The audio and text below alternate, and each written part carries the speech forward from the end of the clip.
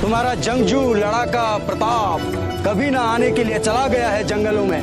कौन ऐसा कहता है?